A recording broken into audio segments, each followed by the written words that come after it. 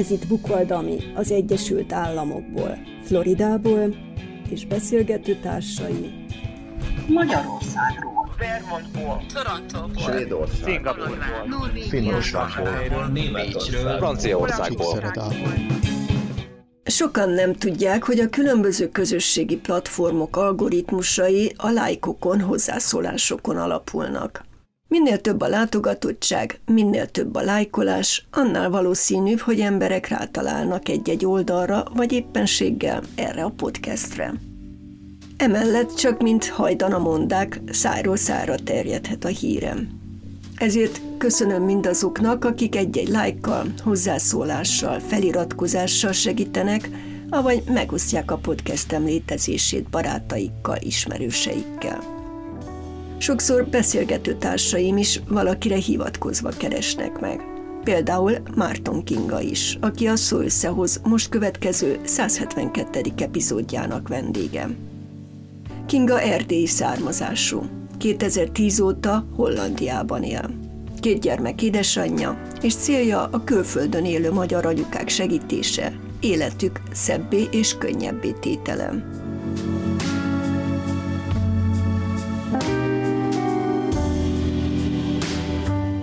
Márton Kinga vagyok, Székelyudvarhelyen, Erdélyben születtem, és jelen pillanatban Hollandiában élek.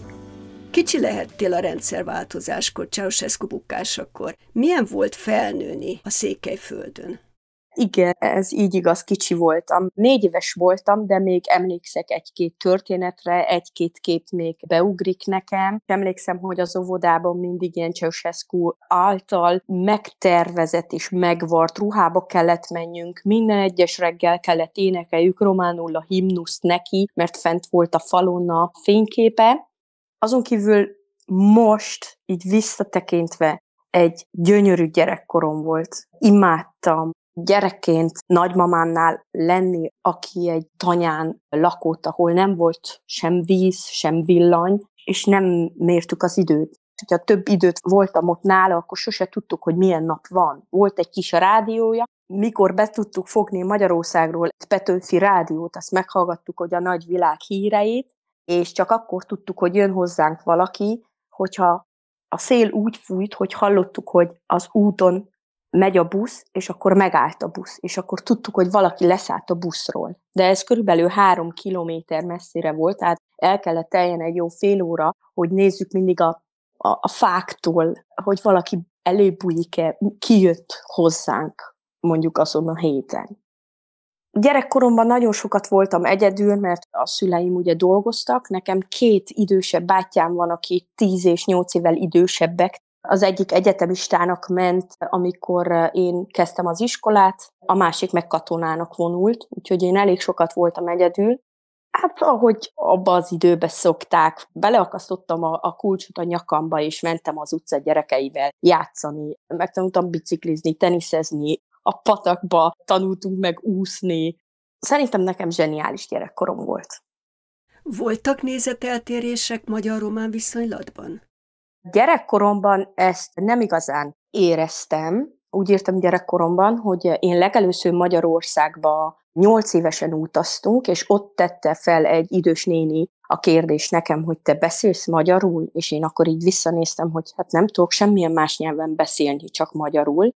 Igen, akkor furcsa volt számomra, mert hogy akkor a szüleim nem igazán nyíltan beszéltek erről. És amikor ugyebár 18 évesen felkerülsz Kolozsvárra egyetemistaként, na akkor szembesülsz azzal a helyzettel, amikor a buszon vagy a villamoson megszólítanak, hogy figyelj már, beszélj már románul a telefonon, mert Romániában vagy, és akkor abban a pillanatban nem tudtam mit válaszolni, mondtam, hogy figyelj már, édesanyámmal beszélek, és mi magyarul szoktunk kommunikálni egymással, én nem tudok édesanyámmal románul beszélni. Ez jóval később volt, Ceausescu bukása után. Persze, itt 2003-ról beszélünk, 2004-ben volt ez. Ez igazán megtörtént velem, igen. Benedek Elek gimnáziumba végeztél, ott az oktatás magyarul folyt. Én a Benedek Elek tanítóképzőbe végeztem, és az oktatás végig magyarul folyt. Minden egyes nap volt egy óránk román óra, és egy héten kétszer tanultunk németül, és egyszer franciául. Tehát amikor felkerültél a Bábes-Bolyai Egyetemre, a szociológia tanszékre, ha jól tudom. Igen. Ott milyen nyelven folyt az oktatás? Én a magyar nyelvet választottam akkor, volt német nyelven is, de mi soha nem tanultunk románul. Tehát a román nyelvet lényegében a városban kellett használnunk. Tehát közértbe, színházba, bárhova, ahova mentél, románul kellett beszélni. De tanulni nem kellett. Nem tanulni, mindig magyar nyelven tanultunk. És milyen volt az egyetem? Ez egy nagyon nehéz kérdés. Nekem az álmom a tanítóképzőbe az volt, hogy én újságíró fogok lenni. És mikor felkerültem Kolozsvára, akkor szembesültem azzal a tudattal, hogy aki lényegében diszlekciás, és nem beszéltem az angol nyelvet sem, szembesültem bele, hogy mégsem igazán lesz belőlem újságíró. De a szociológia és a politológia is nagyon érdekelt annó, és nagyon tetszett, csak éppen az iskolai oktatás valamiképpen nem igazán jött be nekem, és én két év után úgy döntöttem, mert volt egy pályázat, hogy el fogok menni egy évet Németországba, és azt talán megváltoztatta az életemet, az az egy év, amit ott töltöttem, és miután visszamentem, minél hamarabb beszerettem volna fejezni az egyetemet, és eldöntöttem, hogy akkor az egy év alatt összevonom a két évet. És akkor ebből jöttek természetesen kis problémák, mert nem minden tanár és nem minden docent akart ebbe beleegyezni. Viszont nekem már megvolt az állásom Németországba, ezért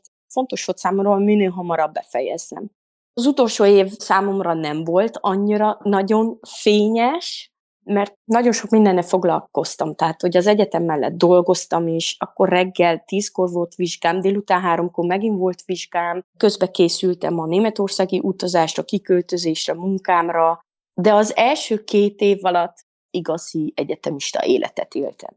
Bentlakásban laktam az elején, számomra nagyon-nagyon furcsa volt megszokni azt, hogy egy szobában öt lány lakott együtt, ahol volt négy szekrény, egy asztal és kettő szék.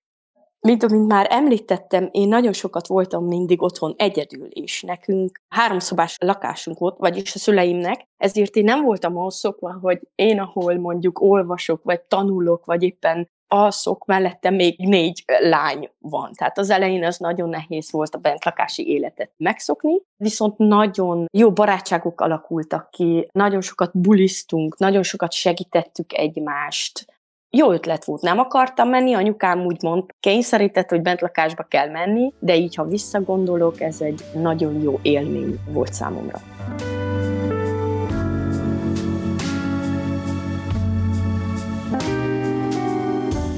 Németországban az egyetemen keresztül kaptál valamilyen tanulmányi ösztöndíjat? Úgy mentél ki, vagy te szervezted? Ez lényegében nem az egyetem által volt, az nem tanulmányi ösztöndíj volt, hanem fel volt ragasztva a falra egy plakát, hogy a Magyarországi Máltai Szeretett Szolgálat önkinteseket keres Németországba. Az volt az álmom, hogy Németországba menjek, a német nyelvet nagyon szerettem is, hogy azt fejleszem. Megláttam ezt a pályázati kiírást, jelentkeztem rá, aztán Temesvárra kellett felutaznunk egy interjúra, ott letesztelték a német tudásunkat, illetve hogy milyen típusú személyiség vagy, aztán Budapestre kellett menni még egy interjúra, és akkor lényegében kész volt, tehát felvettek a pályázatra, Romániából azt hiszem hét lány volt, viszont román útlevéllel ugyebár nem mehettél csak úgy be az országba, ezért vízumot kellett kérjünk Szebenbe. Tehát nagyon sok utánajárás volt, de végre 2006 júliusába kiutazhattunk, és akkor Áchenbe volt egy 6 hetes, nagyon gyors nyelvkurzus. Ott megtanították nekünk, hogy hogyan kell szelektálni a szemetet, megtanították röviden a földrajzukat, megtanították, hogy hogyan kell kommunikálni a némettel, milyen a német kultúrája, és hat hét után elosztottak minket különböző helyiségekbe, fogyatékos intézetbe kellett menni segíteni. Most az a csoport, aki hat hétig Áchenbe együtt volt, együtt tanult, együtt csinálta a hülyeségeket, együtt játszottunk, együtt sírtunk, ha honvágyunk volt, együtt csináltunk mindent, ezt a fonalat lényegében elvágták, mert mindenkit más-más részre küldtek Németországba, de ennek az volt az oka, hogy ne legyünk együtt, mert akkor mindig magyarul vagy románul beszéltünk egymással. És akkor én egy olyan helyre kerültem, ahol volt egy francia, egy orosz, egy holland, egy német lány, kettő lengyel lány, és én. És amint az előbb említettem, hogy nekem Németországban megváltozott a teljes életem, ez az alatt értem, mert nekem volt novemberben egy autóbalesetem. Kimentél nyáron, és már novemberben volt a baleset? Igen, pontosan. Születésnapos voltam, és reggel kilenckor mentem a fogorvoshoz, és utána úgy döntöttem, hogy biciklivel elmegyek a következő városba, mert szerettem volna a bátyámmal, az unokatesómmal és az egyik legjobb barátnőmmel Skype-on beszélni. Na most ez olyan világ volt még 2006-ban Németországban is, hogy nem volt internet bekötve abba a bentlakásba, ahol mi laktunk, és nem volt egyszerűen lehetőségünk arra, hogy interneten keresztül kommunikáljunk, hanem ilyen internetklubba kellett bemenni, tehát egy másik városba át kellett menni ahhoz, hogy te tudjál valakivel beszélni Skype-on, vagy éppen egy e-mailt írni. És a szüleimet is csak egy héten egyszer hívtam fel telefonon, és az is ilyen pénzdobóssal, hogy anyu, jól vagyok, minden oké, és fogy el a két euróm, és tűtőtő. Tehát levelet írtunk.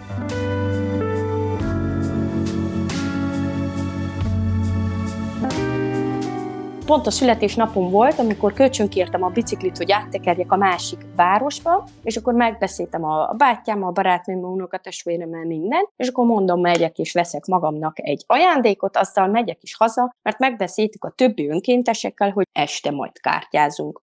Egy kicsit ott kialakult őszintén október környékén, hogy minden egyes este másnak a szobájában mentünk társasozni, Közben tanultunk is, közben söröztünk is, közben kártyáztunk is. Igen, feltaláltuk magunkat. És akkor délután négy órakor történt a baleset, amikor eh, sajnálatos módon egy anyuka nem nézett a tűkörbe, autóval jött, én megjöttem a biciklivel, nekem zöld volt, és bum. Lényegében nem igazán emlékszem, mint a balesetre. Én másnap hajnalok hajnalán ébredtem meg a kórházban, combigérő gipszben, nem tudtam mozdítani a lábam, nem tudtam, hogy hol vagyok és akkor kértem legelőször tolmácsot, mert már féltem, hogy a német nyelvtudásom nem elegendő ahhoz, hogy az orvosokkal mit tudjak beszélni. Meg őszintén, ahogy felébredtem rá, egy órára a rendőrség érkezett, és nem tudtam, hogy mit kéne abban a helyzetben mondani. Aztán hoztak egy tolmácsot, egy magyar orvos segített nekem nagyon sokat a tolmácsolásban, meg a felépülésben is, és akkor ott voltunk azon a ponton a szüleimmel, hogy akkor most mi legyen, most akkor haza transportálnak engem Romániába, vagy itt maradok egyedül, mert hogy a német orvosi ellátás sokkal jobb. Úgyhogy úgy döntöttem, hogy Németországban maradok egyedül, és annyira rendes emberek voltak ezek az önkéntesek. Három hét után aláírta az orosz meg a holland önkéntes, hogy rám fognak vigyázni, viszont én hónapokig tolószékben voltam. És így ismertem meg a férjem. Tehát a baleset útján során ismerkedtünk meg, és hogy alakult ez aztán szerelem, és majd úgy döntöttünk, hogy talán jobb lesz, hogyha én Németországba átköztözök Hollandiába. A férjed valahol a kórházban dolgozott, vagy diák Nem, volt? ő is egy önkéntes volt mint az orosz, mint a francia, mint a német, mint a lengyel. És akkor ők írtak egy napi rendet, reggel készítette a reggelit a lengyel lány, délben jött az orosz, fiú készítette el nekem az ebédet, és én ő vele németeztem, mindig én írtam meg helyette a házi feladatot, és akkor délután este jött a férjem, ő készítette a vacsorát, de általában mindenkinek főzött, mert hogy ő szakács, tehát úgy lehet ezt elképzelni, hogy a szobámba járt mindenki, volt egy hosszú asztal, és akkor mondjuk olyan 6-8 önkéntesült az asztalnál, a férjem főzött vacsorát, én megfeküdtem az ágyba. Mert hogy hosszú folyamat volt, újra meg kellett tanuljak járni, biciklizni, autót vezetni, stb.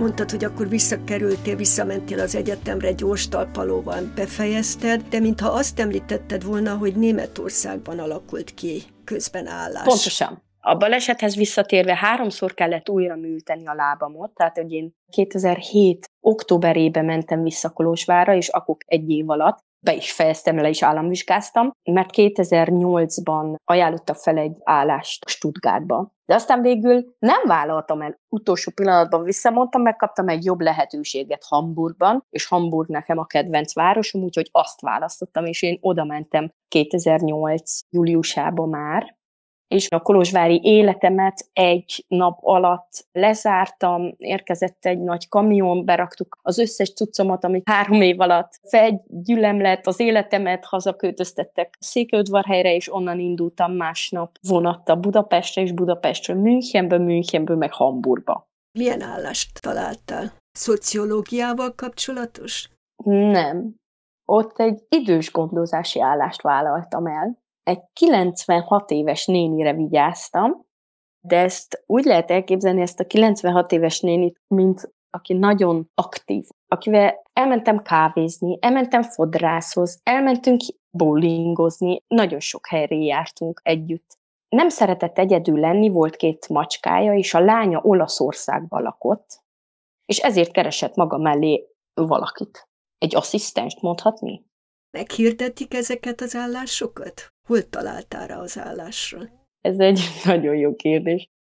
Egy lánya találkoztam egy kocsmába, és ő sóvárgott szegény, hogy ő találta ezt az állást magának, és hogy ő azt nem tudja elfogadni, mert hogy a nyárára, augusztusra az ő párja kéthetes görögországi nyaralást foglalt le, és akkor, hogy most mi legyen, és ő el volt ott nagyon szegény, és akkor mondtam, hogy légy szíves, írd le a telefonszámot, mert én majd utána érdeklődök. És spontán másnap reggel 10 órakor felhívtam a telefonszámot, mondtam, hogy ki vagyok, mi vagyok, és hogy én tudok kezdeni akár hétfőtől.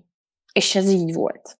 Senki nem tudott akkor megállítani, senki nem ajánlotta, hogy menjek, mert hogy lényegében én egy nevet és egy címet kaptam, tehát én csak annyit tudtam, hogy hova kell menni. Viszont bíztam magamban, tudtam, hogy beszélem az ország nyelvét, eladni nem tudnak, ismertem úgy aránylag az országot is, nem féltem semmitől. És hogyha nem lett volna ház azon a címen, amit adtak, akkor sem lett volna probléma, mert nekem nagyon sok barátnőm maradt Németországban az önkéntes évek után. Mondhatni az összes önkéntes, aki Romániából kijött a hét közül, az mind a hét jelen pillanatban is Németországban lakik. Tehát bárkihez tudtam volna menni, hogyha valami baj történt volna.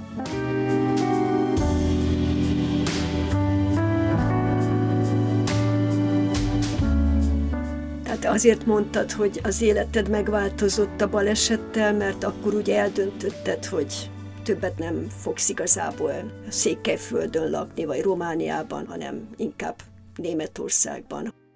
Nem ebből a, szempontból mondtam, hogy megváltozott. A megváltozott az életem az azért volt, mert hogy a baleset után, amikor tolószékbe kerülsz, akkor teljesen megváltozik a gondolkodási módot, tehát a mentalitásod, teljesen másképp látsz dolgokat, és mivel ott ismertem meg a férjemet, egy idő után muszáj volt eldöntsük, hogy ő fog visszaköltözni Hollandiába, Németországba, vagy én fogok Németországba, Hollandiába menni. És akkor most jön az érdekes része. Amikor átköltöztem Hamburgból Hollandiába, önkéntes már nem lehettem román állampolgárként, csak egyetlen egy programba vehettem részt, és az az óperkedés volt. És ez nem volt semmi probléma, mert hogy én imádom a gyerekeket, én tanítóképzőt végeztem, tehát én egy három gyerekes családnál voltam egy évet, és akkor egy év alatt megtanultam a holland nyelvet, és jártam állásinterjúkra. És nem vettek sehova fel, mert hogy román útlevéllel te nem maradhattál az országban csak három hónapot. És senki nem akart adni munkavállalási engedélyt és akkor apósommal megbeszéltem a dolgot, hogy akkor itt nekem nincs lehetőségem, én itt nem tudom az álmaimat megvalósítani. Én összepakoltam a bőröndömet, és elmentem haza Székelyudvarhelyre, a szüleimhez. Akkor még nem voltál a felesége a férjednek. Nem voltam még a felesége. Nem, nem, nem. Az csak 2013-ban volt az esküvő. Értem.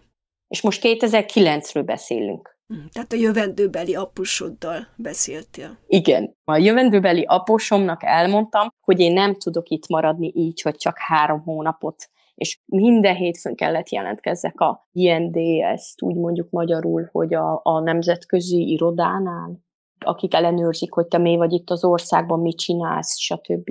És őszintén egy idő után megelégettem, és igen, összepakoltam a bőröndömet, és elmentem haza. És adtam magamnak egy olyan hat hónapot laktam otthon, jártam állásinterjúkra, fontos volt számomra, hogy olyan helyen dolgozzak, ahol a német nyelvet is tudom használni, és ilyen multicégnél kezdtem el dolgozni, és rájöttem arra, hogy fú, itt ez nem olyan munkaközeg, mint Németország, hogy minden nap várnak téged, és minden nap téged megbecsülnek, és megköszönik minden este a te munkádat, hogy te ott voltál, és te segítettél nekik, és őszintén nem bírtam, hogy 8 és 10 órákat kellett dolgozni a semmiért, és még melléje nem, hogy köszönet nem volt, hanem inkább ordibáltak velünk.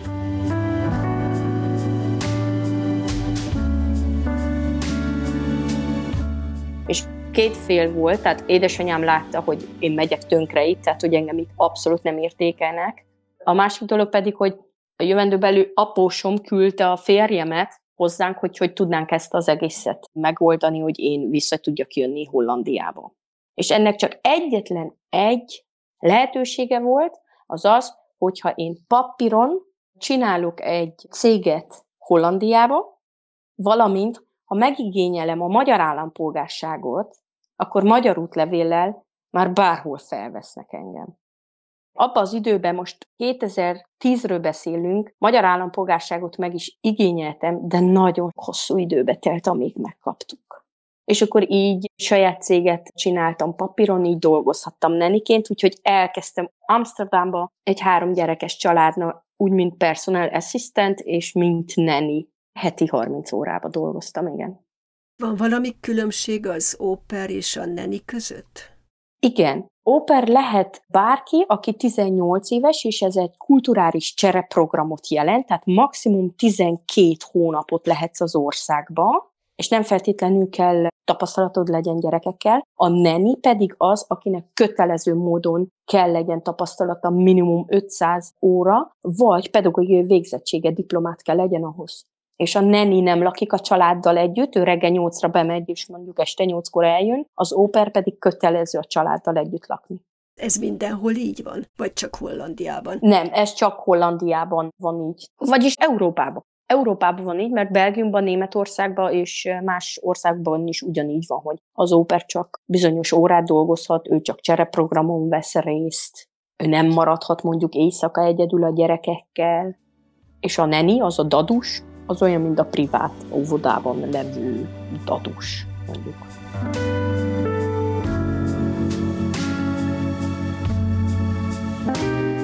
Tehát akkor ott voltál Hollandiában. Milyen volt a beilleszkedés? Nem mondom azt, hogy nehéz volt, mert őszintén, amikor megkaptam a magyar állampolgárságot, magyar útlevéle kinyíltak tényleg a kapuk, és mindenki befogadott, mindenki kedves volt, mindenki segítőkész volt.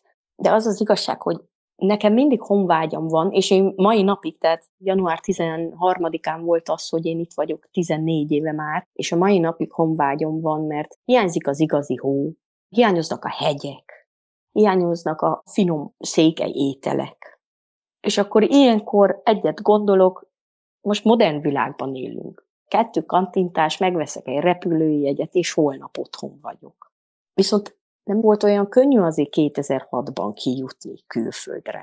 Vagy nem volt olyan könnyű kapcsolatot tartani a szüleimmel, a barátaimmal, a testvéreimmel. És ezért nagyon hálás vagyok, hogy most tényleg létezik ez a Skype, ez a Viber, bármi. És most, hogy gyerekeim vannak, szeretném nekik megmutatni, meg megtanítani azt, hogy, vagy lássák legalábbis azt, hogy nekem milyen gyerekkorom volt eh, Székelyföldön. Egyszer azt nyilatkoztat, hogy Hollandia olyan, mint egy meseország. Valójában olyan? Most őszintén neked választ adva, 2010-ben, mikor kijöttem, az ország teljesen más volt, mint most. Lehet, hogy akkor nekem nagyon új volt minden, és tényleg azért mondtam egy interjúmban azt, hogy ez egy csodálatos és mesebeli ország, mert bizonyos kis városokba, ha elmész, tényleg azt hiszed, hogy a mesébe vagy. Az a szépsége, a különböző épületek, a, a szélmalmok, a tisztaság, hogy, hogy a fű úgy le van nyírva érte centire. Tényleg gyönyörű.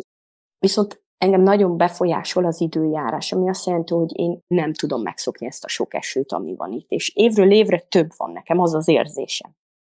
Most meg egy kicsit meg is van változva az ország, mert hogy minél többen vagyunk, annál több lakrészre van szükség. És akkor ahol tehetik a hollandok, nyomjuk vissza a vizet, és építsünk egy óriási nagy lakótelepet.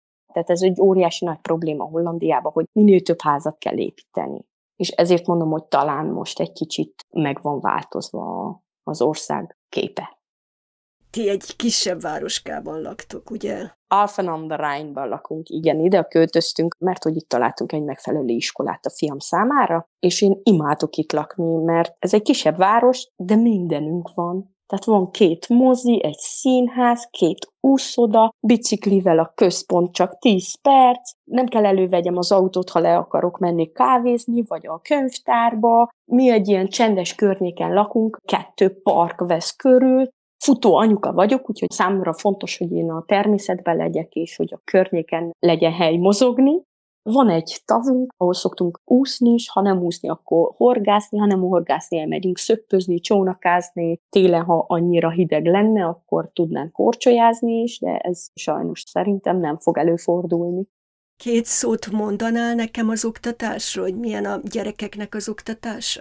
Már amikor kérdezted, hogy milyen volt a Ceausescu világban, és a gyerekkorom, akkor jutott eszembe, hogy igen, nekem tényleg teljesen más volt az iskolai rendszer, mint az én gyerekeimnek. Egy nagyon nyitott, szabad elven nevelik, fél kilencre járnak, és három háromkor végeznek. Az elemi iskolában sosincs házi feladat. Mi a táskába csak a tíz órait tesszük, tehát egy szendvicset is, valami innivalót, mindig különböző témákkal foglalkoznak, tehát mindig megvan, hogy mondjuk egy könyvről beszélnek. Most a múzeum a téma jelen pillanatban. A fiam a korallokról készít PowerPointos bemutatót, figyelnek a sportra, heti kétszer-háromszor sportolnak, az első osztályban már tanítanak angolt nekik, megtanítsák a nyolcadikosok a kicsiket olvasni, sakkozni.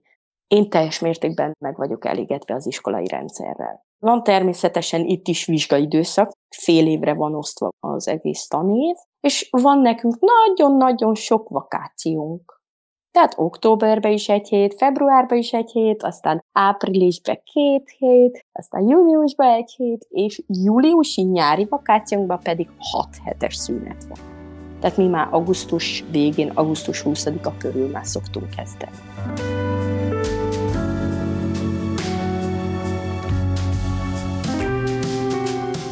Visszatérve hozzá, te megtaláltad a helyedet? Bejött az a papíron elindított cég, ha jól tudom, egy újabb tanfolyamot végeztél el, a Mama Coachot. Hogy állt össze? Igen, tehát akkor visszatérve arra, hogy én elkezdtem neniként dolgozni Amsterdamban, és megcsináltuk papíron a közvetítő irodát, tehát mivel ebbe volt tapasztalatom, ezért Oper és Neni közvetítő irodát indítottunk. Your Action volt a cégnek a neve, és nagyon sok lánynak segítettem abban, hogy Erdélyből, Szlovákiából, Magyarországról, Horvátországból jöttek ki 12 hónapra, hogy megtanuljanak mondjuk angolul vagy hollandul. Minden lánynak más-más célja volt, Különböző más irodákkal is együtt dolgoztunk, tehát zseniális éven volt 2013, 2014, 15, 16-an nenieimmel nagyon sokat utaztunk Európa más országaiba. Van, aki itt maradt, van, aki visszavándorolt, van, aki éppen Görögországba költözött, van, aki Reykjavikba ment, és ez a cég lényegében a COVID miatt csődbe ment, mondhatni. Tehát nem lehetett utazni, nem lehetett lényegében az, abba az időszakban semmit csinálni, ezért családoknak nem volt szükségük nenire, ezért így ez lassan-lassan csődbe ment. Mivel én 2016 óta az Magyarország OB áruház képviselető személye voltam, én ezt nagyon-nagyon szerettem ezt a munkámat, mert úgy éreztem, hogy Hollandiában megtaláltam a helyemet. Tehát egy olyan országban lakok, ahol mindegy, hogy milyen nyelven beszélek, tehát ugye ez nem Kolozsvár, és nagyon szerettem az irodába a kollégáimmal, ez egy ilyen nemzetközi társaság volt, mert mindenki a saját országát csinálta.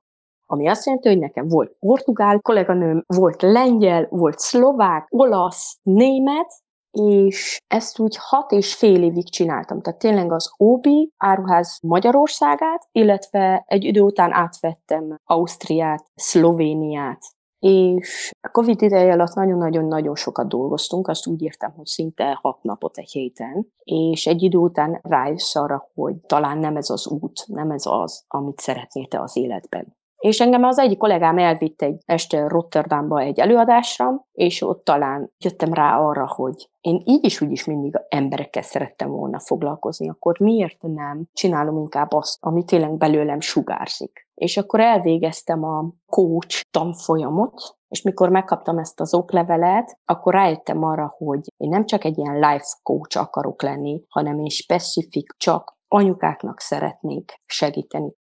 Nekem volt ugye a saját cégem, a Your Action, azt teljesen egyedül alapítottam, és egyedül csináltam mindig mindent. És abból tanultam, hogy én most ezt együtt szeretném csinálni. Tehát én olyan anyukáknak szeretnék tényleg segíteni, akik azt mondják, hogy én érzem, hogy én valami más szeretnék csinálni. Érzem, hogy a világra azért születtem, mert ezt szeretném csinálni, egyszer élünk, most kicsik a gyerekeink, most próbáljuk meg azt az időszakot tényleg megélni, és nem átélni, hanem megélni, mert az idő elszáll. A gyerekeink felnőnek, és biztos vagyok benne, hogy az én lányom és a fiam is azt fogja mondani 18 évesen, hogy anya, én elmentem Ausztráliába, anya, én elmentem Amerikába, és akkor itt ülök én egyedül, és majd fogom a fejemet, hogy Jézusom, eltelt a 15 év, és nem csináltam semmit. Nem figyeltem magamra, nem szántam elég időt a fejlesztésemre, és nem tudom, hogy hol vagyok most jelen pillanatban, és csak sóvárgok. És 2023. június 1-én felmondtam, igen. Elköszöntem az Óvi áruháztól, és a kollégáimtól is, de tudom, hogy jó döntés volt. És most anyukáknak tartok mami workshopot, találkozót, online coachingot, tanácsadást, és ez az, amit én szeretek, imádok, és amitől én energiát kapok. További terveid? Jövőbe szeretnék megszervezni egy bootcampot, tíz különböző országból levő magyar anyukákkal szeretnék elmenni egy háromnapos bootcampra. Öt éves tervben talán az van, hogy más kócsokkal együtt szeretnék rendezvényeken részt venni, tehát hogy tényleg megmutassuk a világnak azt, hogy ezt lehet másképp is, lehet sokkal nyugodtabban és sokkal élvezetesebben az anyaságot megélni, mint azt, amit például nagyanyáink tettek az én nagymamámnak is tényleg nagyon szép élete volt tényleg ott a tanyán. Viszont egy másik generáció az én édesanyám, ugye, tehát ő a Ceausescu világba kellett gyereket szüljön, és három váltásban járt egy gyárba dolgozni. Ezek a sok elvárások, és mindenki megmondja azt, hogy hogyan csináld, hogyha szoptatsz, akkor mély szoptatsz, hogyha nem szoptatsz, akkor hogy, hogy nem szoptatsz, vagy hogy hordozó, akkor mély hordozod, mert hogy az nem jó a gyereknek a hátgerincének, de hogyha nem hordozod, akkor mély nem hordozod. Szóval érted, amit mondok, hogy annyi elvárás van a mai világban egy anyától, hogy lehetetlen minden elvárásnak megfelelni, és nem is kell. Tehát éppen ez az, hogy nem kell senkinek az elvárásának megfelelni, hanem te, hogyha saját magad a szívedre hallgatsz, és te jól érzed magad a bőrödben. Ezt érzi a gyerek is. Az a jó, ahogy te érzed is, ahogy te szeretnéd csinálni. Az jó a gyerekednek is.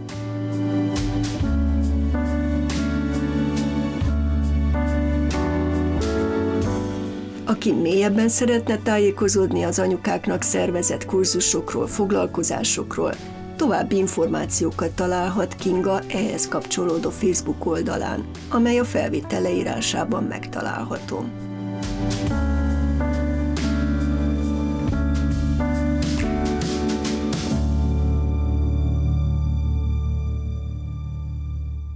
Ha valakinek bármilyen hozzászólása volna témáinkhoz, vagy egy új témát szeretne felhozni, esetlegesen szeretne részt venni beszélgetéseinkben, értesíthet bennünket a szó összehoz, ékezet nélkül is egyben, kukac, gmail.com e-mail címen. Thank you